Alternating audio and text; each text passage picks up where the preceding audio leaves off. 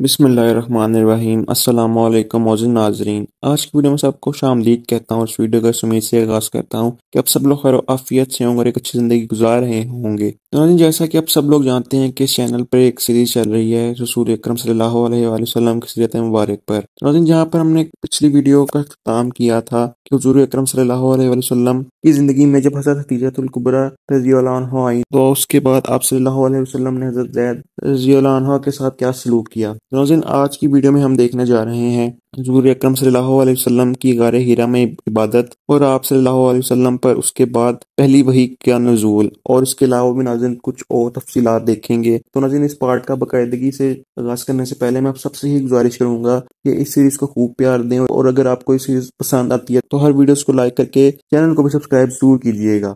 रसूल अक्रम सल्हसम की उम्र जब तेईस साल से ज़्यादा हुई तो आप सल्हसम के दिल में खुदा तला की इबादत की रुगबत पहले से ज़्यादा जोश मारने लगी। और फिर नाजिन आखिर आप सल्हसम शहर के लोगों की शरारतों बदकारियों और खराबियों से मुतनफर होकर मक्का से दो तीन मील के फासले पर, एक पहाड़ी की चोटी पर, एक पत्थरों से बनी हुई छोटी सी गार में खुदा ताला की इबादत करने के लिए जाने लग गए। और फिर नाजन, जब हज़रत हतीजा रज़ी हो चंद दिन की गजा आप वसल्लम के लिए तैयार कर देती तो आप सल्लाम वो लेकर गर हिरा में चले जाते थे। और उन दो तीन पत्थरों के अंदर बैठकर आप सल्लल्लाहु अलैहि वसल्लम दिन रात अल्लाह ताला की इबादत में मसरूफ रहते थे। और फिर नाजन जब ये सब हुआ तो उसके बाद आप सल्लल्लाहु अलैहि वसल्लम की उम्र चालीस साल के करीब पहुँच गई। और फिर एक दिन आप सल्लल्लाहु अलैहि वसल्लम ने उसी गार में एक कशफी नज़ारा देखा कि एक शख्स आपसे मुखातिब होकर कहता है कि पढ़िए इस पर आप वसल्लम ने फरमाया, मैं तो पढ़ना लिखना नहीं जानता। इस पर उसने दोबारा और सह बार कहा और आखिर पाँच फिक्रे उसने आप से कहलवाए जिसकी तफसील नाजिन हमें कुरान पाक में कुछ यूँ मिलती है कि आप वसल्लम पर नाजिल होने वाली ये पहली वही थी जिसमें आप वसल्लम से कहा गया कि तमाम दुनिया को अपने रब के नाम पर जिसने तुझको और कुल मखलूक को पैदा किया है पढ़कर आसमानी पैगाम सुना दे। वो खुदा जिसने इंसान को ऐसे तौर पर पैदा किया है कि उसके दिल में खुदा ताला और उसकी मखलूक की मोहब्बत का बीज पाया जाता है। हाँ सब दुनिया को ये पैगाम सुना दे कि तेरा रब जो सबसे ज़्यादा इज़्ज़त वाला है तेरे साथ होगा। वो जिसने दुनिया को इलूम सिखाने के लिए कलम बनाया है और इंसान को वो कुछ सिखाने के लिए आमादा हुआ है जो उससे पहले इंसान नहीं जानता था। और नाजिन, मैं आपको ये भी बताता चलूँ कि ये चंद अल्फाज कुरान करीम की उन सब तलीमों पर हावी हैं जो आइंदा रसूलुल्लाह सल्लल्लाहु अलैहि वसल्लम पर नाजिल होने वाली थी। और दुनिया की सलाह का एक अहम बीज उनके अंदर पाया जाता था। और नाजिन इनकी तफसीर तो मैं आगे चलकर आपको ज़रूर बताऊँगा। लेकिन इस मौके पर मैंने इन आयतों का आपसे ज़िक्र इसलिए किया क्योंकि रसूलुल्लाह सल्लल्लाहु अलैहि वसल्लम की ज़िंदगी का ये एक अहम वाक़ है और कुरान करीम के लिए ये आयात एक बुनियादी पत्थर की हैसियत रखती हैं। तो नाजिन आप लोग इसी से अंदाज़ा लगा लीजिए कि रसूल अकरम वसल्लम पर वही नाजिल होने से पहले ही आप वसल्लम कितने अल्लाह के परहेजगार इंसान थे। कि आपको जब भी खुशनुदी सुनाई गई तो आप सल्लल्लाहु अलैहि वसल्लम ने बजाय इसके कि वो इस पर गरूर करते हैं तकबर करते कि खुदा कादिर ने मेरे सपुर्द एक काम किया है। लेकिन नाजिन ऐसा नहीं हुआ, बल्कि आप सल्लल्लाहु अलैहि वसल्लम काम जानते थे, लेकिन उस काम पर इतराना नहीं जानते थे। इसलिए आप सल्लल्लाहु अलैहि वसल्लम ने कहा कि मैं इतनी बड़ी ज़िम्मेदारी आखिर कैसे निभा सकूँगा? खैर नाजिन, फिर इस इल्हाम के बाद आप हज़रत हतीजा तुलकुबरा के पास आए तो आपका चेहरा उतरा हुआ था और घबराहट के आसार साफ़ ज़ाहिर हो रहे थे। और इसी सारे मंजर को देखते हुए हज़रत हतीजा सलाम ने आप सल्लल्लाहु अलैहि वसल्लम से पूछा आखिर हुआ क्या है? जिसका जवाब देते हुए नाजिन आप वसल्लम ने अपनी जोजा मोहतरमा को सारा वाक्य सुनाया और फरमाया, मेरे जैसा कमज़ोर इंसान आखिर इस बोझ को किस तरह उठा सकेगा? फिर नाजिन उसके बाद अजहर हदीजातुल्कुबरा सलाम ने इस बात का जवाब देते हुए कहा कि, खुदा की कसम, ये कलाम खुदा ताला ने इसलिए आप पर नाजिल नहीं किया। कि आप नाकाम और नामुराद हों, और खुदा आपका साथ छोड़ दे। खुदा ताला ऐसा कब कर सकता है? आप तो वो हैं कि आप रिश्तेदारों के साथ नेक सलूक करते हैं और बेकसों और बेमददगार लोगों का बोझ उठाते हैं। वो इखलाक जो मुल्क से मिट चुके थे, वो आपकी ज़ात के ज़रिए से दोबारा कायम हो रहे हैं। आप मेहमान की मेहमान नवाजी करते हैं और सच्ची मुसीबतों पर लोगों की मदद भी करते हैं। क्या ऐसे इंसान को खुदा ताला इब्तला में डाल सकता है? और फिर नाजिन ये सब कहकर हज़रत हतीजातुल कुबरा सलाम आप सल्लल्लाहु अलैहि वसल्लम को अपने चचा जाद भाई, यानी वर्का बिन नौफिल के पास ले गई जो उस वक्त ईसाई हो चुके थे। तो इन्होंने जब ये वाक्य सुना तो वो बेख्तियार बोल उठे, आप पर वही फरिश्ता नाजिल हुआ है, जो मूसा इस्लाम पर नाजिल हुआ था। और इन्होंने फिर उस बात पर इशारा करते हुए आपको तस्दीक भी करवाई। और फिर नाजिन जब इस बात की खबर जैद आपके आज़ाद करदा गुलाम को, जो उस वक्त कोई पच्चीस तीस साल के थे, और हज़रत अली करमुल्ला वजह, जो आपके चचा के बेटे थे, को जिनकी उम्र उस वक्त ग्यारह साल की थी, पहुँची तो वो दोनों फ़ौरन ही आप सल्लल्लाहु अलैहि वसल्लम पर ईमान ले आए। फिर नाजिन आहिस्ता आहिस्ता अरब में ये बात फैलने लगी और फिर नाजिन उसके बाद आप सल्लल्लाहु अलैहि वसल्लम अपनी नबूवत का ऐलान करने के लिए लोगों में जाने लगे। तो उस वक्त आप सल्लल्लाहु अलैहि वसल्लम के बचपन के दोस्त, यानी हज़रत अबू बकर सदीक, जो शहर से बाहर गए हुए थे, जब शहर में दाखिल हुए तो इनके कानों में ये आवाज़ें पड़ने शुरू हुई कि तुम्हारा दोस्त दीवाना हो गया है। वो कहता है, आसमान से फरिश्ते उतर कर मुझसे बातें करते हैं। जिसको सुनकर नाजिन हज़रत अबू बकर सिद्दीक सीधे ही आप वसल्लम के दरवाजे पर आए और दस्तक दी। और फिर जब आप वसल्लम ने दरवाज़ा खोला तो इन्होंने आप वसल्लम से हकीकत हाल के मुतलिक सवाल किया, जिस पर नाजिन रसूल करीम वसल्लम ने अपने बचपन के दोस्त को ठोकर से बचाने के लिए कुछ तशरीक करनी चाहिए। मगर हज़रत अबू बकर सदीक ने रोका और कहा कि मुझे सिर्फ़ इतना जवाब दीजिए कि क्या आपने ये ऐलान किया है कि खुदा के फरिश्ते आपके पास आए? और इन्होंने आपसे बातें की, जिस पर नाजन फिर से आप सल्लल्लाहु वसल्लम ने तशरी करनी चाहिए। मगर हज़रत अबू बकर सदीक ने कसम देकर कहा कि सिर्फ़ इस सवाल का जवाब दीजिए और कुछ ना कहिए। और फिर नाजिन जब आप सल्लल्लाहु वसल्लम ने इस बात में जवाब दिया तो हज़रत अबू बकर सदीक ने कहा, गवाह रहिए, मैं आप पर ईमान लाता हूँ। और फिर कहा, या रसूलुल्लाह आप तो दलाइल देकर मेरे ईमान को कमज़ोर करने लगे थे, क्योंकि जिसने आपकी ज़िंदगी को देखा हो तो क्या उसे आपकी सच्चाई के लिए किसी और दलील की ज़रूरत हो सकती है? और फिर ये कहकर हज़रत अबू बकर सदीक भी आप वसल्लम के शुरुआती साथियों में शरीक हो गए। और नाजिन यही एक छोटी सी जमात थी जिससे इस्लाम की बुनियाद पड़ी, जिसमें कुछ ऐसे लोग शामिल थे जिनमें एक औरत के जो बुढ़ापे की उम्र को पहुँच रही थी, एक ग्यारह साल बच्चा, एक जवान आज़ाद करदा गुलाम बेवतन और गैरों में से रहने वाला जिसकी पुष्ट पर कोई ना था, एक नौजवान दोस्त और एक मुदई इल्हाम। और नाजिन, ये वो छोटा सा काफिला था जो दुनिया में नूर फैलाने के लिए अरब के मैदानों की तरफ़ निकला। और फिर नाजिन, लोगों ने जब ये बातें सुनी तो इन्होंने इन पर कहके लगाए और नज़रों ही नज़रों में एक दूसरे को जताया कि ये लोग मजनून हो गए हैं। इनकी बातों से मुजब ना हो, बल्कि सुनो और सिर्फ़ मज़ा उठाओ। मगर नाजिन हक अपनी पूरी शान के साथ ज़ाहिर होना शुरू हुआ और नबी सल्लाम की पेशन गोई के मुताबिक हुक्म पर हुक्म और कानून पर कानून होता गया। और थोड़ा यहाँ, थोड़ा वहाँ और अजनबी ज़ुबान से, जिससे अरब पहले ना आशना थे, अल्लाह ताला ने रसूलुल्लाह सल्लल्लाहु अलैहि वसल्लम के ज़रिए अरबों से बातें करनी शुरू की और जिससे नौजवानों के दिल लरजने लगे और सदाकत के मुतलाशियों के जिस्मों पर कपकपी पैदा हुई और उनकी हँसी ठट्ठे और इस्तेजा की आवाजों में पसंदीदगी और तहसीन कलमात भी आहिस्ता आहिस्ता बुलंद होने शुरू हुए और नाजिन गुलामों, नौजवानों और मजलूम औरतों का एक जुत्था आपके गिर जमा होने लगा, क्योंकि नाजिन आप वसल्लम की आवाज़ में औरतें अपने हकूक की हिफाजत देख रही थीं। गुलाम अपनी आज़ादी का ऐलान सुन रहे थे और नौजवान बड़ी बड़ी उम्मीदों और तरक्कियों के रास्ते खुलते हुए महसूस कर रहे थे। और फिर नाजिन,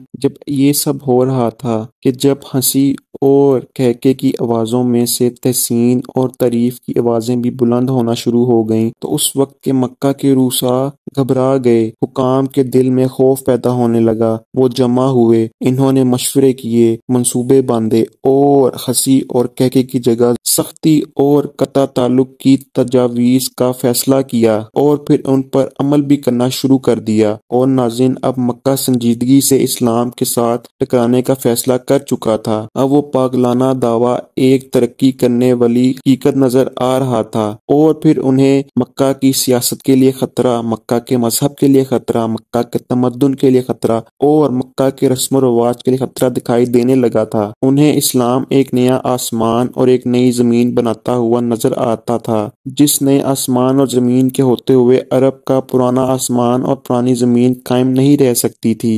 और नाजिन अब ये सवाल मक्का वालों के लिए हँसी का सवाल नहीं रहा था। अब ये उनके लिए ज़िंदगी और मौत का सवाल बन गया था। उन्होंने इस्लाम के चैलेंज को कबूल किया और उसी रूह के साथ कबूल किया, जिस रूह के साथ नबियों के दुश्मन नबियों के चैलेंज को कबूल करते चले आए थे। और वो दलील का जवाब दलील से नहीं, बल्कि तलवार और तीर के साथ देने पर आमादा हो गए। और नाजिन, उस वक्त इस्लाम की खैर वही का जवाब ऐसे ही बुलंद अखलाक के ज़रिए से नहीं, बल्कि गाली गलोच और बदकलामी से देने का इन्होंने फैसला कर लिया। और नाजिन, उस दौर में एक दफ़ा फिर इस्लाम और कुफर की लड़ाई शुरू हो गई। एक दफ़ा फिर से शैतान के लश्करों ने फरिश्तों पर हल्ला बोल दिया। तो नाजिन सवाल तो ये बनता है कि भला उन मुट्ठी भर आदमियों की ताकत ही क्या थी कि मक्का वालों के सामने ठहर सकें? लेकिन नाजन फिर भी इन्होंने औरतों को बेशर्माना तरीकों से कत्ल करना शुरू कर दिया। मर्दों की टांगे चीर चीर कर उन्हें मार दिया गया।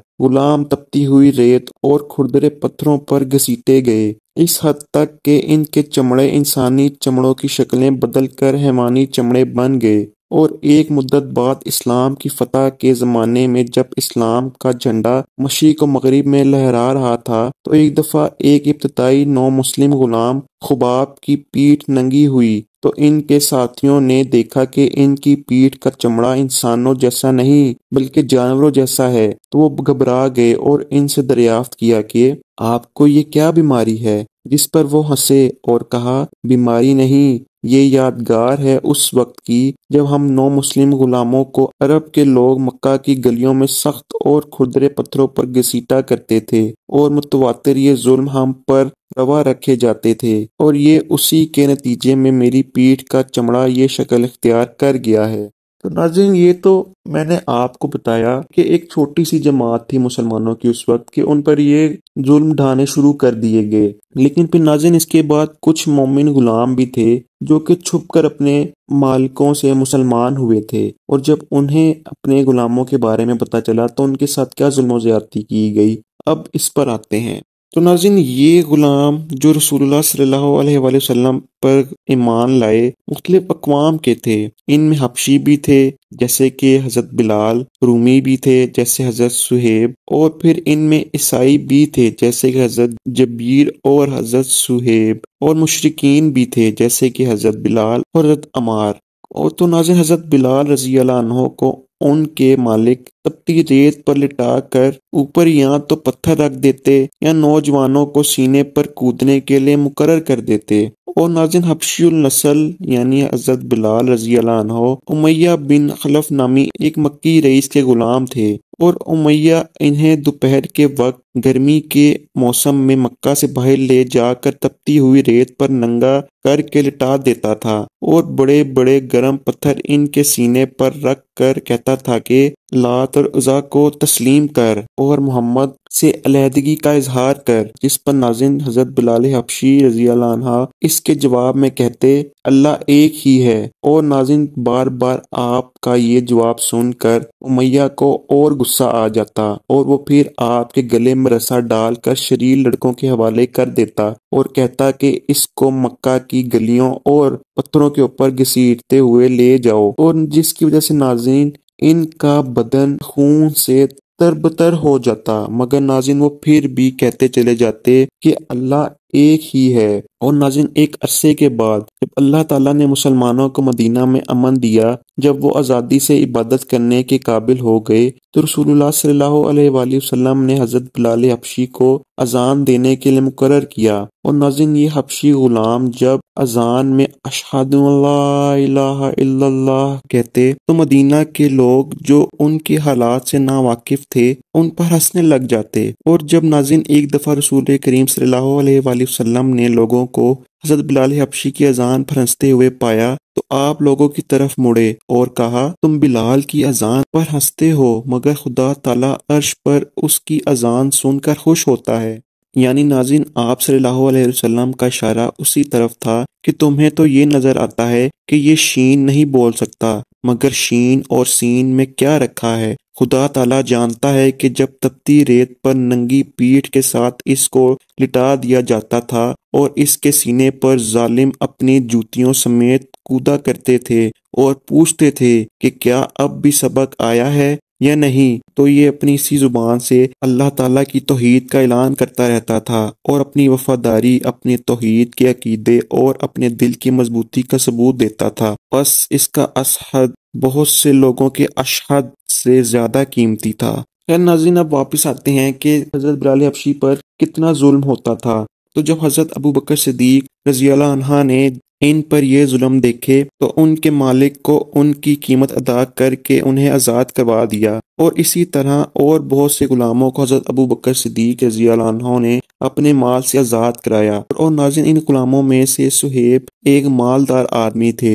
ये तजारत करते थे और मक्का की बाहैसियत आदमियों में से समझे जाते थे। मगर बावजूद इसके कि वो मालदार भी थे और वो आज़ाद भी हो चुके थे कुरैश इनको मार मार कर बेहोश कर देते थे। और जब नाजिन रसूल अक्रम सल्लल्लाहु मदीना की तरफ़ हिजरत कर गए तो आपके बाद सुहेब ने भी चाहा कि वो भी हिजरत करके मदीना चले जाएँ। मगर नाजिन मक्का के लोगों ने इनको रोका और कहा कि, जो दौलत तुमने मक्का में कमाई है, तुम उसे मक्का से बाहर किस तरह ले जा सकते हो? हम तुम्हें मक्का से जाने नहीं देंगे। जिस पर नाजिन सुहेब रज़ी ने कहा अगर मैं ये सब की सब दौलत छोड़ दूँ तो क्या फिर तुम मुझे जाने दोगे, जिस पर नाजिन कुफार इस बात पर रजामंद हो गए और आप अपनी सारी दौलत मक्का वालों के सपुर्द करके खाली हाथ ही मदीना चले गए और वसल्लम की खिदमत में हाजिर हुए, जिस पर नाजिन आप वसल्लम ने फरमाया, सुहेब, तुम्हारा ये सौदा सब पहले सौदों से नफा मंद रहा, यानी पहले इसबाब के मुकाबले में तुम रुपया हासिल किया करते थे। मगर अब रुपए के मुकाबले में तुमने ईमान हासिल किया है। तो नाजिन, फिर इन गुलामों की अक्सर तो ज़ाहिर और बातिन में मुस्तकिल रहे, लेकिन बाद से ज़ाहिर में कमजोरियाँ भी ज़ाहिर हुई। तो नाजिन, इसी पर एक दफ़ा रसूल अकरम वसल्लम अमार नामी गुलाम के पास से गुजर रहे थे तो देखा कि वो सिस्कियाँ ले रहे थे और आँखें पहुँच रहे थे। इस पर आप वसल्लम ने पूछा अमार क्या मामला है? जिस पर अमार ने कहा ए अल्लाह के रसूल, बहुत ही बुरा। वो मुझे मारते गए और दुख देते गए और उस वक्त तक नहीं छोड़ा जब तक मेरे मुँह से आपके खिलाफ और देवताओं की तईद में कलमात नहीं निकलवा लिए। जिस पर नाजीन रसूल अक्रम वसल्लम ने इनसे पूछा, लेकिन तुम अपने दिल में क्या महसूस करते थे? जिस पर अमार ने कहा, मैं तो एक गैर मुतजलजल ईमान महसूस करता था। जिस पर नाजीन आप वसल्लम ने फरमाया, अगर दिल ईमान पर मुतमिन था तो खुदा ताला तुम्हारी कमज़ोरी को माफ़ कर देगा और नाजिन अमार के वालिद यानी यासिर रज़ी और आपकी वालदा सुमैया रज़ी को भी कुफार बहुत दुख देते थे। चुनाचा एक दफ़ा जबकि उन दोनों को दुख दिया जा रहा था तो रसूल करीम सल्लल्लाहु अलैहि वसल्लम उनके पास से गुजरे। आपने उन दोनों की तकलीफों को देखा और आपका दिल दर्द से भर आया, जिस पर आप सल्लल्लाहु अलैहि वसल्लम ने उनसे मुखातिब होकर कहा ए यासिर के खानदान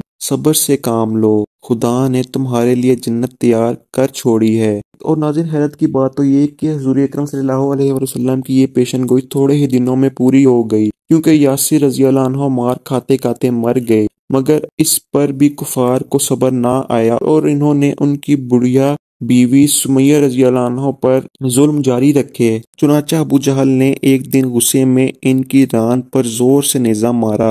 जो रान को चीरता हुआ इनके पेट में घुस गया और तड़पते हुए इन्होंने भी अपनी जान दे दी। तो नाजिन, उस दौर में एक जुनहरा नामी भी लौंडी थी। और इनको अबू जहल ने इतना मारा कि इनकी आँखें ज़ाया हो गईं। और सुफान बिन उमैया के एक गुलाम भी था। उस गुलाम को उसका मालिक और उसका खानदान गर्म तपती हुई ज़मीन पर लिटा देता और बड़े बड़े गर्म पत्थर इनके सीने पर रख देता। यहाँ तक कि उनकी ज़ुबान बाहर निकल आती। और नाजिन यही हाल, बाकी गुलामों का भी था कि उनके साथ भी यही जुल्म होते थे उनके मालिकों की तरफ़ से। लेकिन नाजिन बेशक ये जुल्म इंसानी ताकत से बाला थे, मगर जिन लोगों पर ये जुल्म किए जा रहे थे। वो ज़ाहिर में इंसान थे और बातिन में फरिश्ते। और नाजिन कुरान सिर्फ़ रसूल अक्रम वसल्लम के दिल और कानों पर नाजिल नहीं हो रहा था। अल्लाह ताला तो उन लोगों के दिलों पर भी बोल रहे थे। और तब तक कोई भी मज़हब कायम नहीं हो सकता जब तक कि उनके इब्तदाई मानने वालों के दिलों में खुदा की आवाज़ बुलंद ना हो। और नाजिन जब इंसानों ने इनको छोड़ दिया, जब रिश्तेदारों ने उनसे मुँह फेर लिया तो अल्लाह ताला उनके दिलों में कहता था, मैं तुम्हारे साथ हूँ। और नाजिन ये सब सुनकर उनके ये जुल्म उनके लिए राहत का बायस बन जाते थे और गालियाँ, दुआएँ बनकर लगती थीं। पत्थर मरहम का काम करते थे। और जिस तरह जिस तरह उन पर मुखालफतें होती थी, उसी तरह इनका ईमान और भी बढ़ता चला जाता था। और इन पर तो जुल्म अपनी इंतहा को भी पहुँच गया, मगर इनका अखलास भी तमाम गुज्त बंदियों से आगे निकल गया। तो नाजिन, ये तो मैंने आपको बताया कि गुलाम मुसलमानों पर कितने मुजालिम ढाए गए। इसके बाद ये भी देख लेना चाहिए कि आज़ाद मुसलमानों पर क्या क्या जुल्म हुए।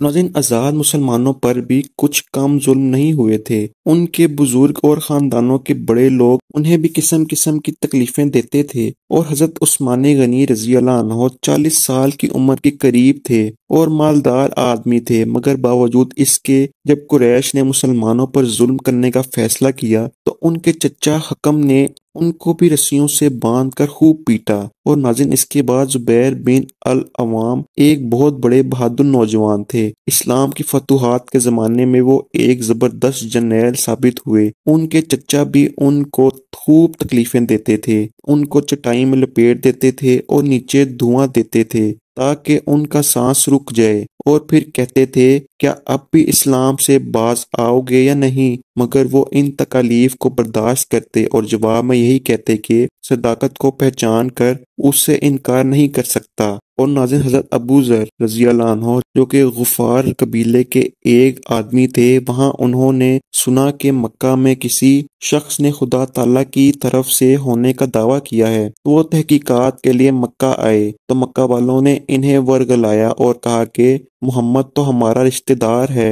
हम जानते हैं कि उसने एक दुकान खोली है, मगर नाजिन हज़रत अबू जर रज़ी अपने इरादे से बाज ना आए और कई तदाबीर इख्तियार करके आखिर रसूल अक्रम वसल्लम के पास जा पहुँचे और रसूल अक्रम वसल्लम ने फिर इन्हें इस्लाम की तलीम बताई, जिससे आप इस्लाम ले आए और आपने रसूल अक्रम वसल्लम से इजाज़त ली कि अगर मैं कुछ अरसा तक अपनी कौम को अपने इस्लाम की खबर ना दूँ तो कुछ हर्ज तो नहीं, जिस पर आप वसल्लम ने फरमाया, अगर चंद दिन खामोश रहें तो कोई हर्ज नहीं। और नाजिन, फिर इस इजाज़त को लेकर हज़रत अबू जर अपने कबीले की तरफ़ वापस चले और दिल में फैसला कर लिया कि कुछ अरसे तक मैं अपने हालात को दुरुस्त कर लूँगा तो अपने इस्लाम को भी ज़ाहिर कर दूँगा। और नाजिन, जब वो मक्का की गलियों में से गुजर ही रहे थे तो इन्होंने देखा कि रूसाए मक्का इस्लाम के खिलाफ गाली गलोच कर रहे हैं। और नाजिन, इस मंजर को देख कर कुछ दिनों के लिए अपने कीदे को छुपाए रखने का ख्याल उनके दिल से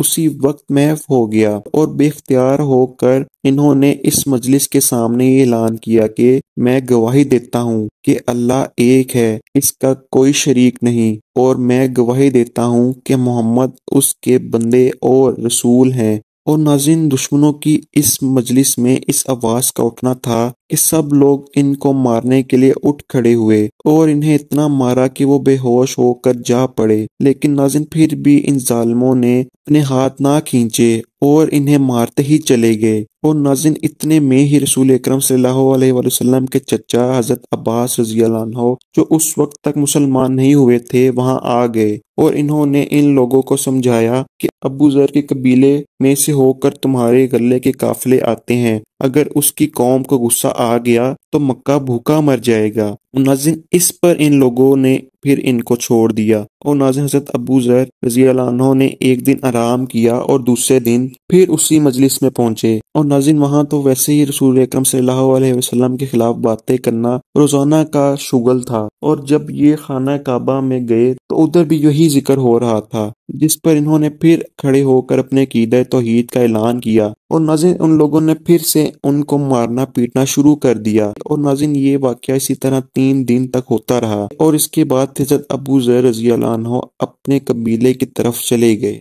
तो नाजीन पहले मैंने आपको बताया कि रसूल अक्रम वसल्लम के शुरुआती साथियों के साथ क्या जुल्म हुए। उसके बाद मैंने बताया कि मोमिन गुलाम मुसलमानों के साथ क्या क्या सलूक किया गया और फिर मैंने बताया कि आज़ाद मुसलमानों के साथ क्या क्या जुल्म सितम हुए। तो नजीन अब ये भी देखना यहाँ पे ज़रूरी है कि हजूर अक्रम वसल्लम पर किस किस्म के मजालिम उस वक्त कुबार मक्का ने किए। तो नाजिन खुद रसूल अक्रम सल्लल्लाहु की ज़ात भी इनसे महफूज ना थी। तरह तरह से आप वसल्लम को दुख दिया जाता था। और नाजिन इसी पर एक वाक्य ये है कि एक दफ़ा आप वसल्लम इबादत कर रहे थे कि आपके गले में पटका डालकर लोगों ने खींचना शुरू किया। यहाँ तक कि आपकी आँखें बाहर निकल आईं। और नाजिन इतने में हज़रत अबू बकर सदीक वहाँ आ गए। और इन्होंने ये कहते हुए छुड़वाया कि ए लोगो, क्या तुम एक आदमी को इस जुर्म में कत्ल करते हो कि वो कहता है कि खुदा मेरा आका है और नाजिन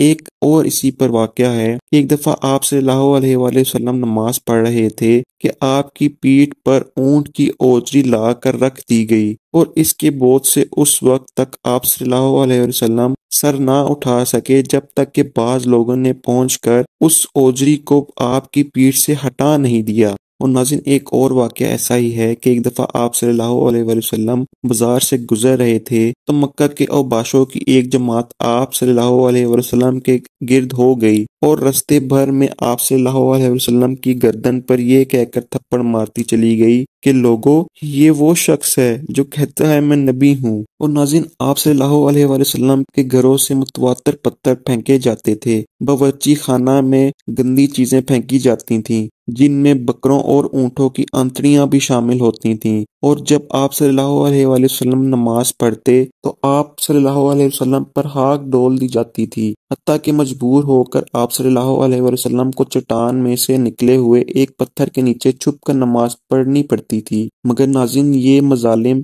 बेकार ना जा रहे थे। शरीफुल तबी लोग इनको देखते और इस्लाम की तरफ़ उनके दिल खींचे चले जाते थे। और नाजिन, एक दफ़ा रसूल अक्रम सल्लल्लाहु अलैहि वसल्लम एक दिन खाना काबा के करीब सफ़ा पहाड़ी पर बैठे हुए थे कि अबू जहल, जो कि आप सल्लल्लाहु अलैहि वसल्लम का सबसे बड़ा दुश्मन और मक्का का सरदार था, वहाँ से गुजरा। और उसने आप सल्लल्लाहु को गालियाँ देनी शुरू कर दी। और नाजिन आप सल्लल्लाहु उसकी गालियाँ सुनते रहे और इसे कोई जवाब ना दिया और खामोशी से उठकर अपने घर चले गए। तो नाजिन आप वसल्लम के खानदान की एक लौंडी इस वाक्य को अपनी आँखों से देख रही थी और शाम के वक्त आपके चचा, यानी हज़रत अमीर हमजा रज़ी जो एक नहायत दलेर और बहादुर आदमी थे और जिनकी बहादुरी की वजह से शहर के लोग उनसे खाइफ थे, शिकार खेलकर जंगल से वापस आए और कंधे के साथ कमान लटकाए हुए अपने घर में दाखिल हुए। तो वो लोंडी, जिसका दिल सुबह के नज़ारे से बेहद मुतासिर था वो हज़रत हमजा रज़ी को इस शक्ल में देख कर बर्दाश्त ना कर सकी और इन्हें ताना देख कर कहा, तुम बड़े बहादुर बने फिरते हो और हर वक्त असले से मुसल्ला रहते हो। मगर क्या तुम्हें मालूम है कि सुबह अबू जहल ने तुम्हारे भतीजे के साथ क्या किया है, जिस पर नाजिन हज़रत हमजा रज़ी अल्लाह ने पूछा, क्या किया है? और फिर उस लोंडी ने वो सब वाक्य हज़रत अमीर हमजा रज़ी अल्लाह के सामने बयान किया और नाजिन हज़रत हमजा रज़ी अल्लाह गोया मुसलमान ना थे, मगर वो दिल के शरीफ थे और इस्लाम की बातें तो उन्होंने पहले से ही सुनी हुई थी और यकीनन उनके दिल पर इनका असर हो चुका था। मगर अपनी आज़ाद ज़िंदगी की वजह से संजीदगी के साथ उन पर गौर करने का इन्हें मौका ना मिला था। लेकिन इस वाक्य को सुनकर उनकी रग हमियत जोश में आ गई और इनकी आँखों पर से गफलत का पर्दा दूर हो गया और इन्हें यूँ मालूम हुआ कि एक कीमती चीज़ हाथों से निकली जा रही है और वो उसी वक्त घर से बाहर आए और खाना काबा की तरफ़ गए। जो उस वक्त के रूसा मक्का के मशवरे का मखसूस मकाम था। हज़रत अमीर हमजा रज़ी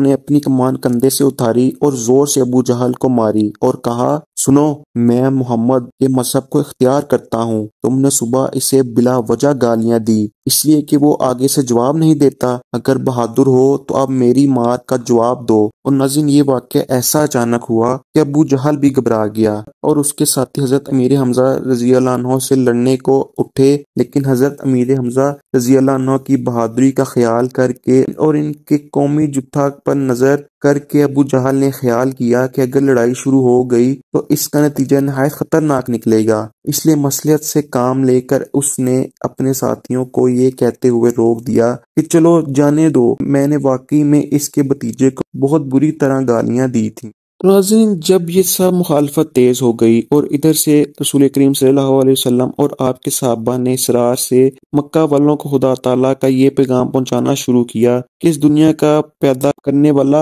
अल्लाह एक है। इसके, उसके सिवा कोई और मबूद नहीं। जिस कदर नबी गुजरे हैं सभी ने उसकी तोहहीद का इकरार किया है और वो अपनी हम कौमों को भी इसी तलीम की तरफ़ बुलाया करते थे। तुम खुदा वाहिद पर ईमान लाओ, इन पत्थर के बुतों को छोड़ दो कि ये बिल्कुल बेकार हैं और इनमें कोई ताकत नहीं। और ए मक्का वालों, क्या तुम देखते नहीं कि इनके सामने जो नज़रों न्याज रखी जाती है? अगर इस पर मक्खियों का झुरमट आ बैठे तो वो इन मक्खियों को उड़ाने की भी ताकत नहीं रखते। अगर कोई इन पर हमला करे तो वो अपनी हिफाजत नहीं कर सकते। अगर कोई उनसे सवाल करे तो वो जवाब भी नहीं दे सकते। अगर कोई इनसे मदद मांगे तो वो उसकी मदद भी नहीं कर सकते। मगर खुदाए वाहिद तो मांगने वालों की ज़रूरत पूरी करता है, सवाल करने वालों को जवाब देता है, मदद मांगने वालों की मदद करता है और अपने दुश्मनों को जेर कर देता है और अपनी मदद गुजार बंदों को आला तरक्यात बख्शता है। उससे रोशनी आती है जो उसके पुरस्तारों के दिलों को मुनवर कर देती है। फिर तुम क्यों ऐसे खुदा को छोड़कर बेजान बुतों के आगे झुकते हो और अपनी उम्र जाया कर रहे हो। तुम देखते नहीं कि खुदा ताला की तोहीद को छोड़कर तुम्हारे ख्याल भी गंदे और दिल भी तारीख हो गए हैं। तुम किस्म किस्म की वहमी तलीमों में मुबतला हो। हलाल और हराम की तुम में तमीज नहीं। अच्छी और बुरे में तुम इम्तियाज़ नहीं कर सकते। अपनी माओ की बेहरमती करते हो। अपनी बहनों और बेटियों पर जुल्म करते हो और इनके हक इन्हें नहीं देते। अपनी बीवियों से तुम्हारा सलूक अच्छा नहीं। आदमी के हक मारते हो।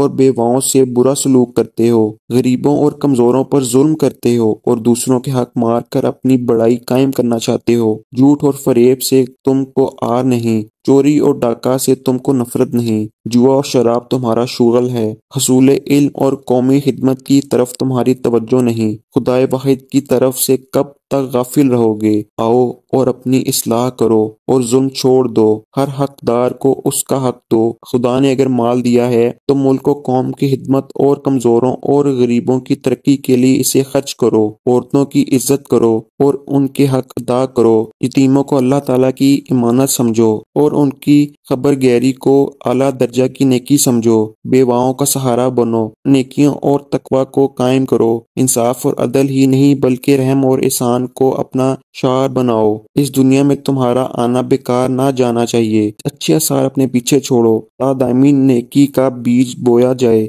हक लेने में नहीं, बल्कि कुर्बानी और इसार में असल इज़्ज़त है। बस तुम कुर्बानी करो। खुदा के करीब हो। खुदा के बंदों के मुकाबले पर एसार का नमूना दिखाओ। हद ताला के हाँ तुम्हारा हक कायम हो। बेशक हम कमज़ोर हैं, मगर हमारी कमज़ोरी को ना देखो। आसमान पर सच्चाई की हुकूमत का फैसला हो चुका है। अब मोहम्मद रसूलुल्लाह सल्लल्लाहु अलैहि वसल्लम के ज़रिए से अदल का तराजू रखा जाएगा। और इंसाफ और अहम की हकूमत कायम की जाएगी, जिसमें किसी पर जुल्म ना होगा। मज़हब के मामले में दखल अंदाजी ना की जाएगी औरतों और गुलामों पर जो जुल्म होते रहे, वो मिटा दिए जाएँगे और शैतान की हुकूमत की जगह खुदा वाहिद की हुकूमत कायम कर दी जाएगी। नाजिन इसी पर इस वीडियो का अख्ताम करते हैं।